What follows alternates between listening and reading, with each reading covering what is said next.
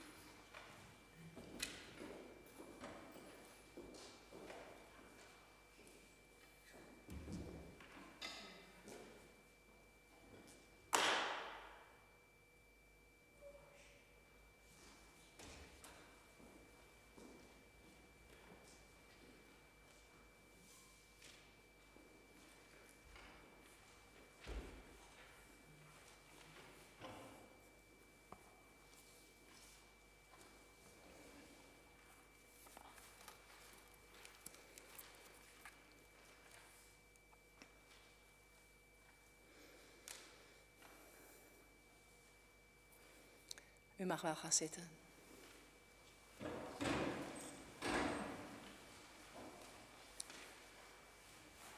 Familie, vrienden en bekenden, we zijn hier in de kerk bij elkaar gekomen voor de dankdienst voor het leven van Alida Koolmeijer. Geboren te Onder den Dam op 19 november 1932 en overleden te Ten Boer op donderdag 25 november jongsleden in de leeftijd van 89 jaar. In vol vertrouwen op haar Heer is ze van ons heen gegaan, zoals ook verwoord in die twee regels van een lied. Stel mijn vertrouwen op de Heer mijn God, want in zijn hand ligt heel mijn levenslot. Fijn dat u allen hier bent gekomen om afscheid te nemen van Alida. Een hartelijk welkom namens Gerda, Truus en Bauko en de kleinkinderen. Het doet ons verdriet dat we haar nu moeten missen. En daarom zijn we hier ook samengekomen om elkaar te steunen. Maar ook om te getuigen van de hoop die in ons leeft. Want God wil ons te hulp komen. Hij die de aarde en hemel heeft gemaakt, die ons voor altijd trouw blijft en nooit zal loslaten wat Hij begon. Genade en vrede zij ons van God de Vader en van Jezus Christus, zijn Zoon, in verbondenheid met de Heilige Geest. Amen.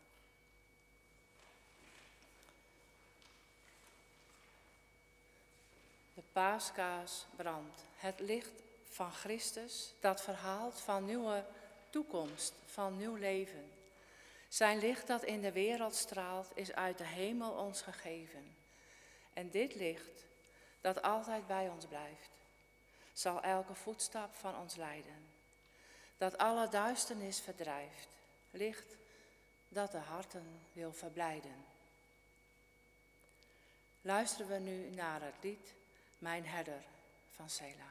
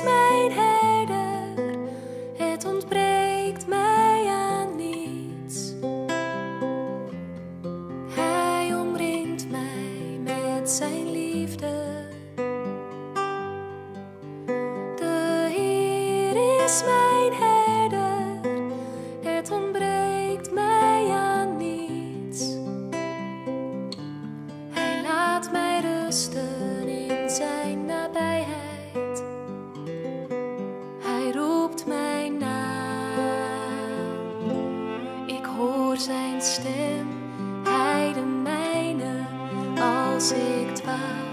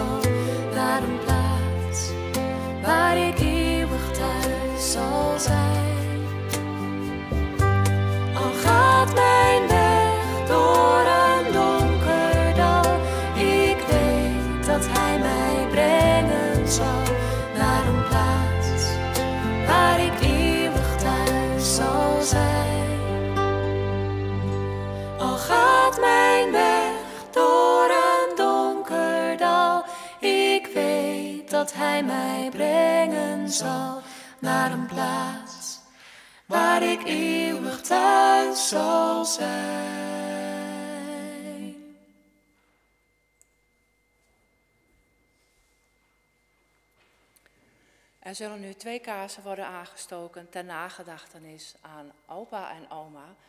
En dat gaat Nadia en Mariska doen.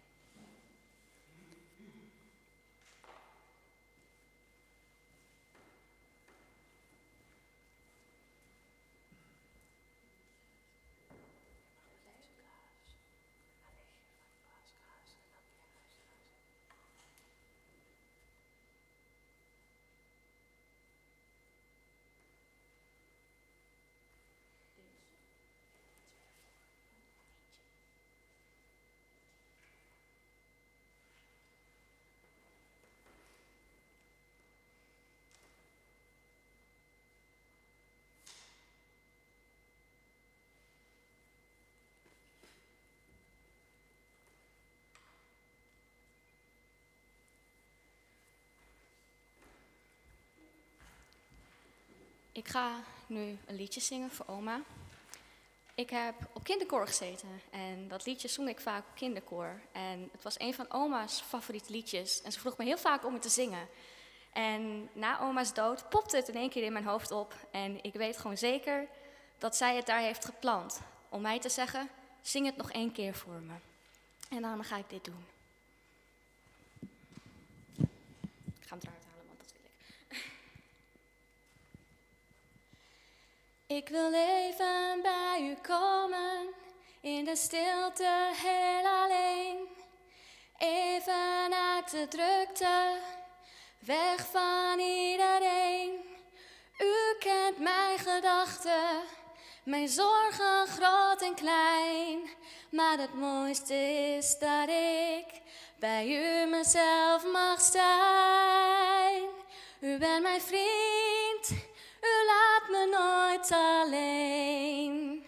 U bent mijn vriend, slaat uw armen om me heen.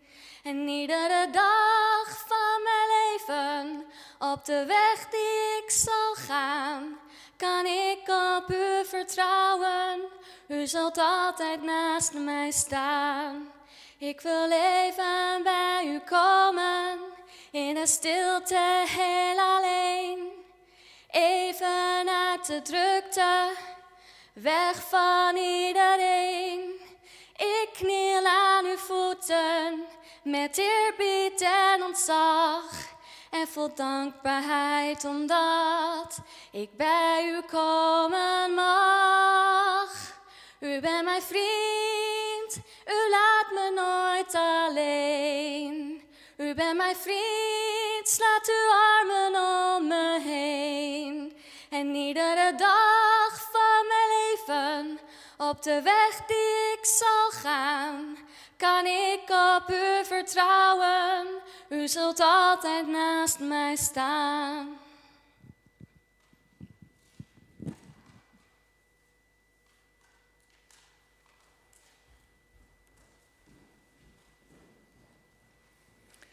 Dankjewel Mariska voor het prachtige lied.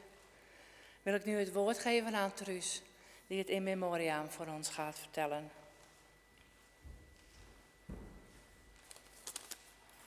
Ik wil iets vertellen over onze moeder, schoonmoeder en oma.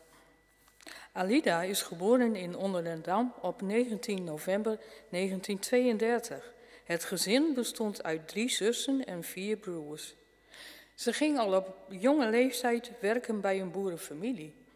Ze was toen nog maar 13 jaar en had de verzorging over vier kinderen. Vaak fietste ze s'avonds van Zuidwolde naar Onderdendam om even bij pa moe te zijn. Ook heeft ze in de stad gewerkt, waar ze het erg naar de zin had. Moe ontmoette haar verloofde die vlak voordat ze zouden gaan trouwen een hersentumor bleek te hebben en daaraan is overleden. Later ontmoette ze onze vader bij de mensen die haar schoonouders zou, zouden zijn geworden. Ze trouwden en verhuisden naar Theesingen. Gerda werd in de eerste week van 1964 geboren en ik ben op de eerste dag van 1966 geboren. Toen Gerda en ik, Gerda vier en ik twee jaar waren, kreeg onze vader een ongeluk, waarbij hij een hersenbloeding kreeg. Hij is nooit meer de oude geworden. Moe heeft het daar best wel moeilijk mee gehad. Het was geen gemakkelijke tijd in haar leven. Toch gingen we altijd op vakantie. Daar hebben we goede herinneringen aan. We werden door een kennis naar de camping gebracht. Dit omdat wij geen auto hadden. En na twee weken ook weer opgehaald. De bingo op de camping was een vast onderdeel van Moe. Daar moest ze heen. Ze had ook vaak geluk en won dan leuke prijzen bij de bingo. Ook zijn wij een keer verdwaald in het bos. We zijn toen teruggebracht door iemand in een vrachtwagen, omdat wij de weg, de snelweg uh, waren opgelopen. Aan de zijkant natuurlijk. Als er boodschappen moesten komen, werden de tassen en fietstassen samen boodschappen gedaan naar Bedum of Leeuwenborg en dan vervolgens weer terug.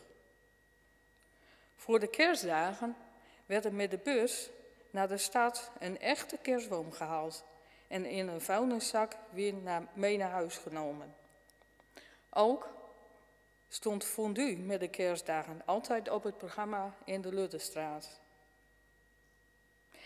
Pa en Moe verhuisden van de Lutterstraat naar de Bakkenstraat in Theesingen. Moe was gek op haar kleinkinderen en paste vaak op in deze spelletjes. Ze en las voor. Ook bakte ze poffertjes als de kleinkinderen kwamen eten en Cordon Bleus. Omdat het slechter ging met pa, was het de bedoeling om naar bloemafhuisjes te verhuizen.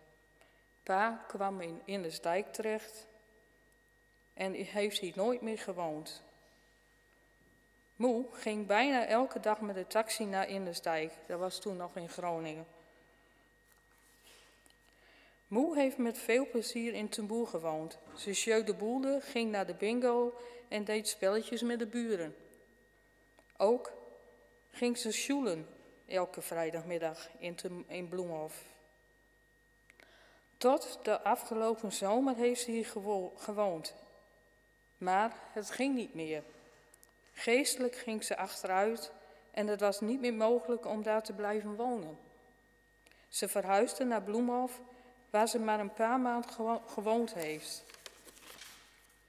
De verzorging in Bloemhof werd zo intensief dat ze uiteindelijk naar het verpleegtehuis in Lindenhof verhuisde. Waar ze op haar 89ste verjaardag s'avonds een herseninfarct kreeg. Ze is eindelijk, eigenlijk niet meer bij kennis geweest.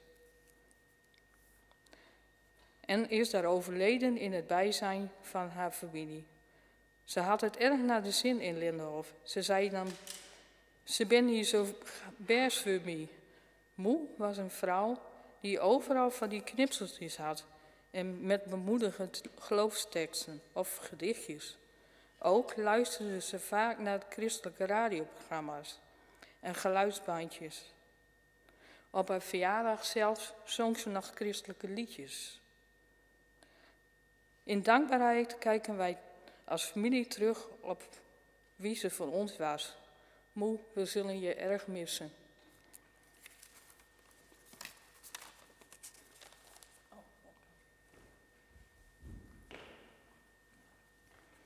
Dankjewel, Truus. Gaan we nu luisteren naar het lied Wees stil, mijn ziel, wees stil.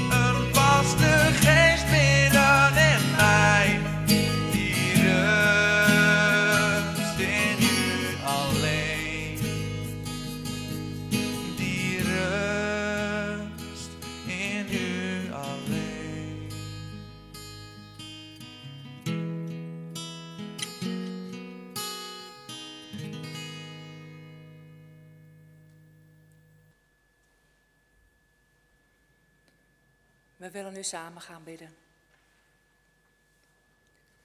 Heere God, Hemelse Vader, we zijn hier vanmiddag bij elkaar om afscheid te nemen van Alida Kalmeijer. Haar leven willen we hier in deze kerk gedenken, gedenken in uw licht. Zonder u willen we geen afscheid nemen van haar. Want Alida, haar naam, is onlosmakelijk verbonden met uw grote naam. We danken u voor haar geloof en vertrouwen. Maar Heer, het is moeilijk om los te laten, om definitief afscheid te moeten nemen. En tegelijk, naast het verdriet en de moeite, is er ook dankbaarheid dat u haar hebt verlost, dat u haar hebt thuisgehaald, dat ze nu in uw licht mag zijn. Het licht waar we naar uitkijken, van dromen, van verwachten met advent. De komst van uw Zoon Jezus Christus in onze wereld, in ons bestaan. En tegelijk ook uitzien naar uw terugkomst naar deze aarde. En dat alles dan nieuw zal worden. Wat een geweldig toekomstperspectief. En waar kunnen we dan beter schuilen in tijden van verdriet en rouw en gemis dan bij u? De Alpha en de Omega, het begin en het eind. Al ons verdriet, al onze gedachten en gevoelens, Heer, we leggen het voor u neer. Wilt u ons helpen in deze dienst? Waarin de herinneringen aan Alida zullen klinken. We gedenken wie zij is geweest voor allen die haar lief waren. Wees ons vanmiddag nabij, dat bidden wij uit genade. Amen. Zal nu het lied Abba Vader klinken.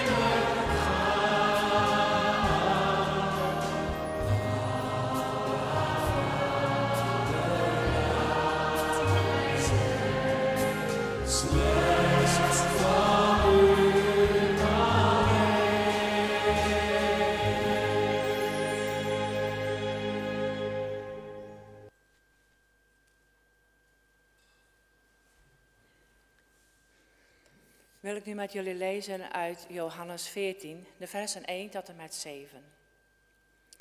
Wees niet ongerust, maar vertrouw op God en op mij, zegt Jezus.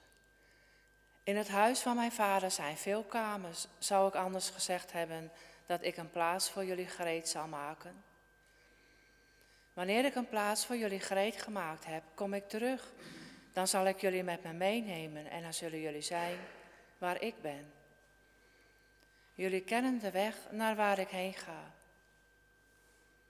Toen zei Thomas, we weten niet eens waar u naartoe gaat, Heer. Hoe zouden we dan de weg daarheen kunnen weten? Jezus zei, ik ben de weg, de waarheid en het leven. Niemand kan bij de Vader komen dan door mij. Als jullie mij kennen, zullen jullie ook mijn Vader kennen. En vanaf nu kennen jullie Hem, want jullie hebben Hem zelf gezien. Ik wil met jullie gaan nadenken vanmiddag, waarbij de leidende tekst uit Spreuken 3 komt, vers 6. Ken Hem in al uw wegen, dan zal Hij uw paden recht maken. Kinderen, kleinkinderen, familie, vrienden en gemeenteleden. De tekst uit Spreuken 3, ken hem in al uw wegen, dan zal hij uw paden recht maken, was de tekst die Reinder en Alida meekregen voor hun huwelijk. Het leven van Alida is geen gemakkelijke weg geweest. We hebben het net gehoord, dat Truus het over vertelde. En dat wetende kan deze tekst wat ironisch aandoen. In de nieuwe Bijbelvertaling komt de tekst enigszins anders op je over, vind ik. Dan staat er, denk aan Hem bij alles wat je doet. Dan baant Hij voor jou de weg. Nu hebben we in Nederland goede kwalitatief goede verkeerswegen. Gebaande wegen zou je kunnen zeggen. Vroeger was dat natuurlijk bij ons ook wel anders en waren er veel meer onverharde wegen met kuilen en gaten. Zo ook in Israël in de tijd van de Bijbel.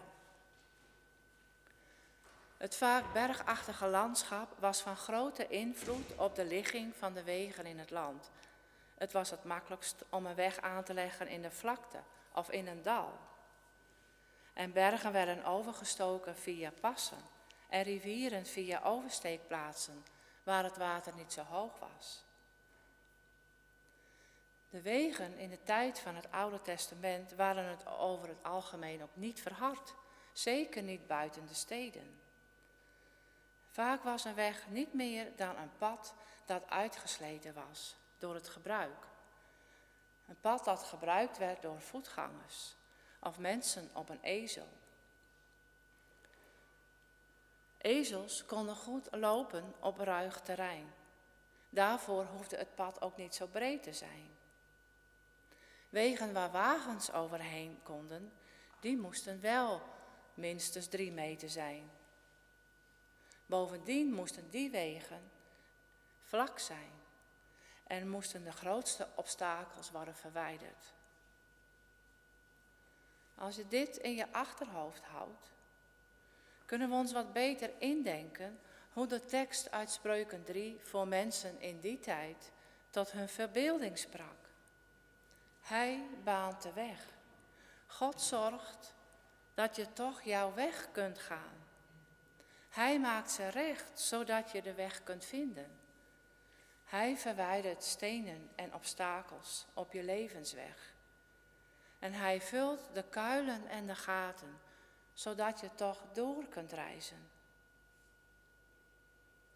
In dat vertrouwen heeft Alida haar leven geleefd. Bijzonder dat ze haar vertrouwen bleef stellen op de Heer, ondanks de moeite in haar leven. En als een getuigenis staan die twee eerste regels van dat lied boven de rouwkaart. Ik stel mijn vertrouwen op de Heer mijn God, want in Zijn hand ligt heel mijn levenslot. En dan gaat het lied verder. Hem heb ik lief. Zijn vrede woont in mij. Ik zie naar hem op en ik weet, hij is mij steeds nabij. Deze tekst hing bij Alida al aan de muur. Als een stil hou vast, om niet te vergeten.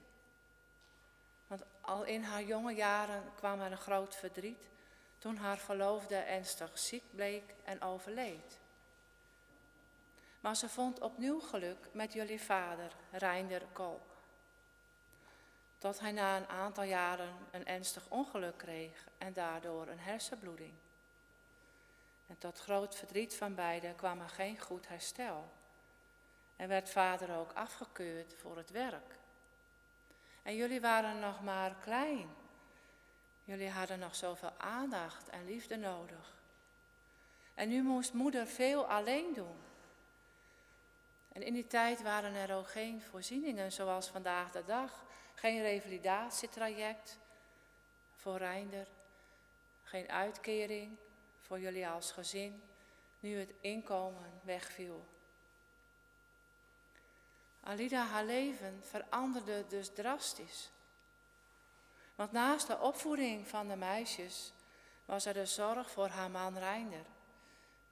En ging Alida buitenshuis werken. Er kwam veel op haar schouders terecht. En toch heeft niemand haar horen klagen. Niet klagen, maar dragen. En bidden om kracht. Ze mocht graag zingen. En ik heb zo het vermoeden dat het zingen van christelijke liederen haar hielp om boven die misère uitgeteeld te worden. Ik zie daar knikken. Ja, zo baande God haar weg. Ook haar karakter zal vast meegeholpen hebben om er zich doorheen te slaan. Want Alida was sociaal en zij hield van gezelligheid. Zo ging ze met jullie op stap naar Leeuwenborg of naar de stad om te winkelen. Een dagje met de bus naar een pretpark. En later met jullie als kleinkinderen spelletjes doen, voorlezen. In 2006 verhuisde Alida naar, van Tezingen naar Ten Boer. Jullie vader was toen in Innersdijk. Hij heeft helaas niet meer in Ten Boer kunnen wonen. Maar er kwam tijd voor meer ontspanning voor Alida. Ze kreeg goede contacten en vriendschappen. Was ook actief in Bloemhof. En haar rosvast vertrouwen in God werd ook zichtbaar in die mooie teksten. Met een boodschap die ze zorgvuldig bewaarde. En jullie kwamen al heel wat tegen van die knipsels. Het evangelie van Jezus Christus was haar alles waard. En ik wil een van die mooie kaartjes die jullie tegenkwamen voorlezen. Je ziet er ook heel mooi uit, een tekst gedrukt, op het lijkt wel een mozaïek of een glas en lood. Er staat een kruis op en het open, lege graf. Geef het door aan iedereen. Een nieuwe tijd breekt aan. Geef het door aan iedereen dat Jezus Christus leeft. Ja, Jezus Christus leeft. Hij is opgestaan. Vertel van God de Vader, die ons geschapen heeft aan jou, als jij hem volgt, het eeuwig leven geeft.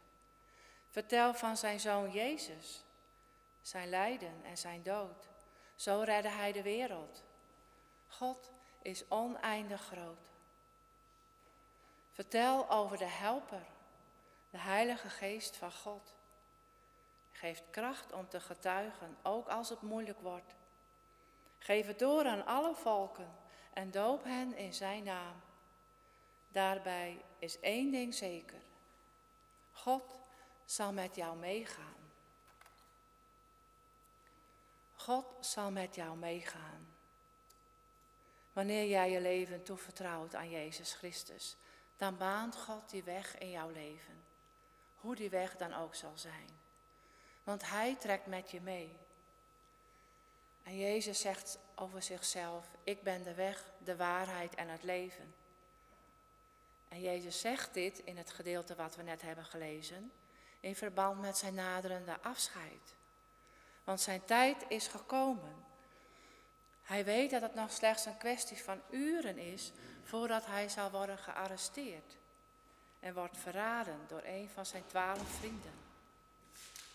En in die korte tijd die hem nog rest, vertelt hij de laatste dingen die ze vooral moeten onthouden.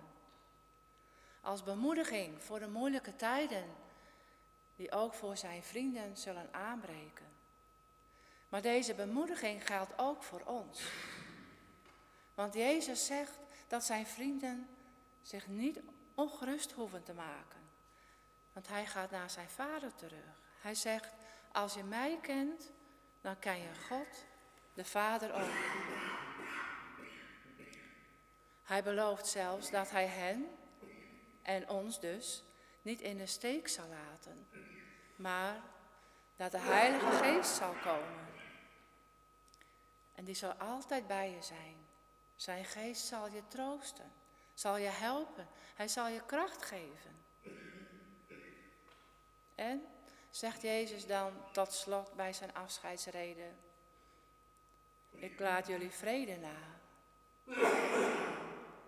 Mijn vrede geef ik jullie, zoals de wereld die niet geven kan. Dus maak je niet ongerust en verlies de moed niet. En daarin is Alida een voorbeeld geweest voor anderen. Bij dat liedje, ik stel mijn vertrouwen op de Heer mijn God, hoort ook nog een tweede couplet. Dat is misschien wat minder bekend, maar wat daar staat, dat is haar gegeven. Wie leert vertrouwen, zo'n kind dat doet, die zal ontvangen blijdschap, kracht en moed. Want God heeft lief wie worden als een kind. En hij rust niet tot u in hem de vrede vindt. Dat is wat haar de vaste grond onder de voeten gaf. Hierdoor kon ze haar weg in het leven gaan. Jezus belooft zijn vrienden dat alles goed komt. Op die vooravond waarvan hij weet wat er komen gaat. Hij vertrouwde zich aan de Vader toe en hij gehoorzaamde van wat, wat hem gevraagd werd. Zo kon ook Jezus zijn weg gaan. Hij die de lang verwachte Messias is, die niet kwam om te oordelen, maar om te redden. En wat er ook stond te gebeuren in zijn leven, maar wat er ook staat te gebeuren in u en jou en mijn leven, het komt goed. Want de duisternis overwon niet het licht en de dood krijgt niet het laatste woord. Want Jezus zorgt dat er een plek is voor wie Hem volgt. Hij bereidt ons een plaats. En die zekerheid stond Alida voor ogen. Zelfs op die laatste goede dag, haar verjaardag, zong zij liederen ter eer van Hem. Wie gelooft dat Jezus Christus, de Christus en de redder van de wereld is, zal eens bij Hem mogen wonen. Dan ben je verzekerd van een eeuwig thuis. Al gaat mijn weg door een donker dal, zongen we aan het begin van deze dienst. Ik weet dat Hij mij brengen zal naar een plaats waar ik eeuwig thuis zal zijn. Dat dit tot troost mag zijn voor jullie als haar kinderen en kleinkinderen. Amen. Gaan we nu luisteren naar het lied Ik zal er zijn van Selah.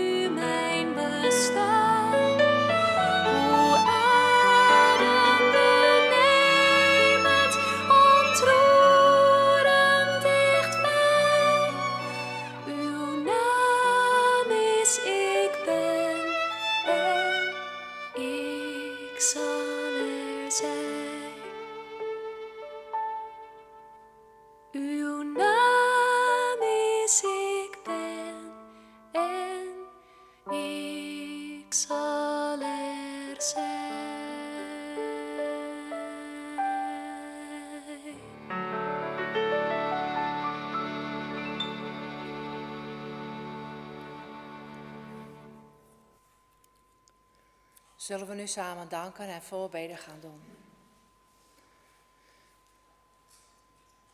Heer onze God, nu het einde van ons samen zijn nadert, komen wij opnieuw tot U. Ons verdriet willen we in Uw Vaderhand leggen. En we willen U danken voor wie Alida was, voor wat zij heeft betekend voor de mensen om haar heen. In het bijzonder voor haar kinderen.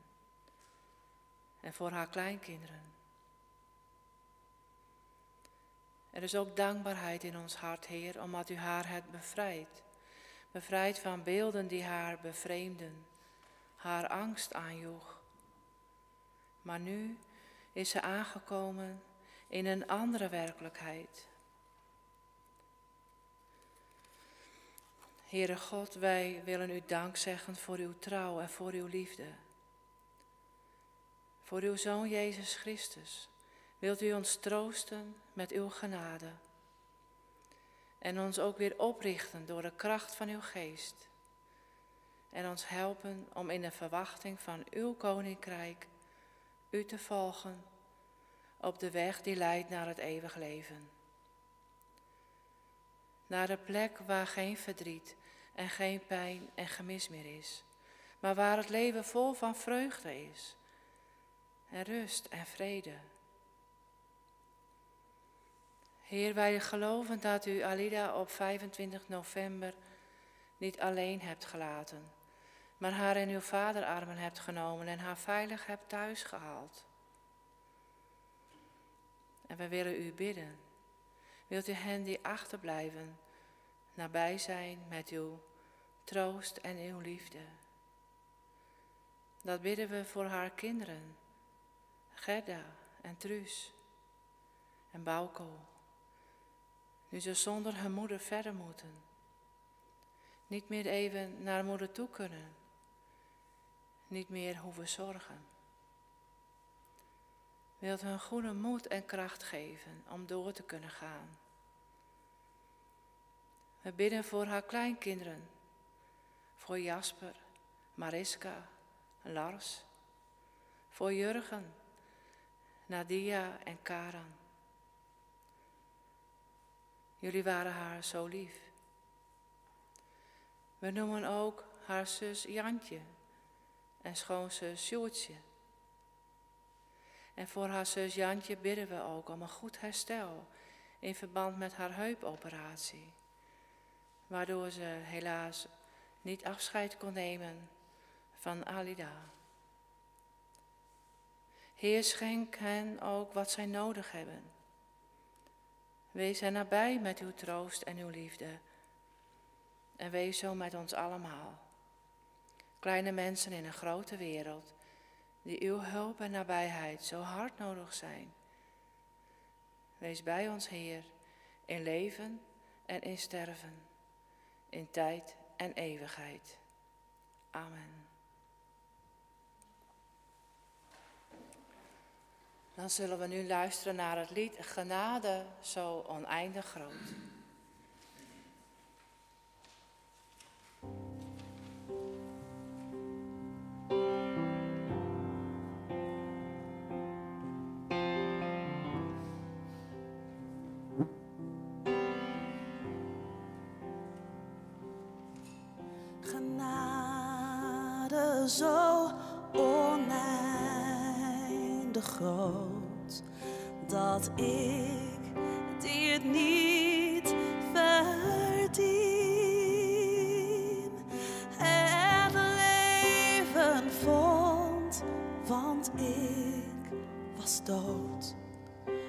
Was blind,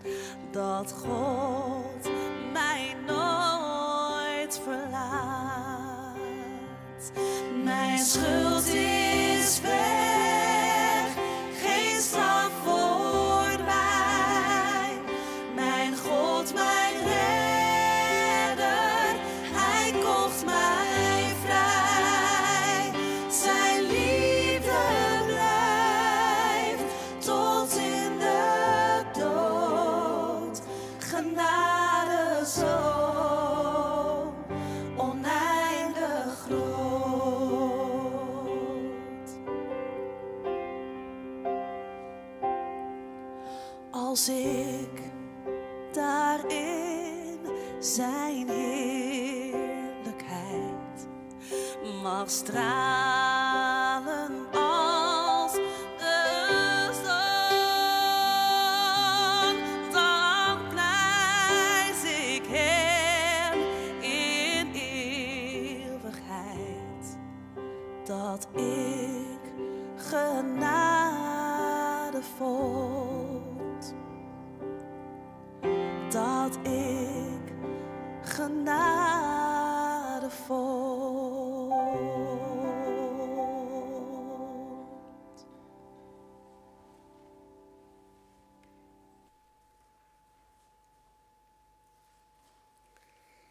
mag ik u de zegen meegeven. De Heer is voor ons om ons de weg te wijzen. En de Heer is naast ons om ons bij de hand te nemen. En de Heer is achter ons om ons te beschermen tegen gevaar. En de Heer is onder ons om ons op te vangen wanneer we vallen. En de Heer is in ons om ons te troosten bij verdriet. En de Heer is boven ons om ons te zegenen. En zo zegent God ons vandaag en morgen en alle dagen van ons leven. Amen.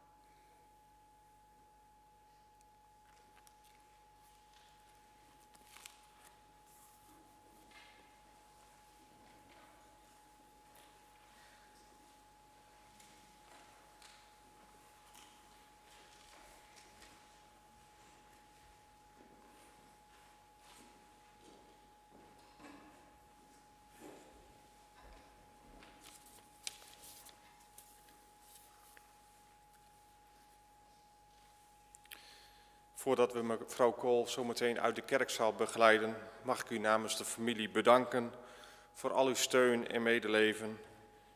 En dat u hier vandaag bij ons bent en met ons meekijkt online om zo samen afscheid te nemen. Namens de familie hartelijk dank daarvoor. Zometeen bij het uitgeleide door de familie wil ik u vragen te gaan staan en daarna kunt u de naaste familieleden volgen richting Menora, de zaal hier bij de kerk, waar we een kopje koffie met elkaar gaan drinken. En dan zullen we rond kwart over drie in kleine kring vertrekken naar de begraafplaats in Theezingen. Uh, u wordt dan uh, bedankt en nogmaals voor hier te zijn met ons en ook straks bij de koffie. Daarna wensen we u wel thuis. Ik wil u nu vragen om te gaan staan en daarna kunt u de naaste familieleden volgen.